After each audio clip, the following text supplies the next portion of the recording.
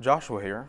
Exodus chapter 2, verses 23 through 25 says, During those many days the king of Egypt died, and the people of Israel groaned because of their slavery, and cried out for help. Their cry for rescue from slavery came up to God, and God heard their groaning. And God remembered his covenant with Abraham, with Isaac, and with Jacob. God saw the people of Israel, and God knew. God saw his people enslaved in a state of hopelessness, and he knew that. Not only did he know it, he sent Moses to rescue them. Thousands of years later, God people's, God's people were enslaved again, not by a different people, but by their own sins. Again, God knew it. And not only did he know it, but he sent his son to rescue us from our own sins. And with Jesus' sacrifice, we have been freed from our own enslavement.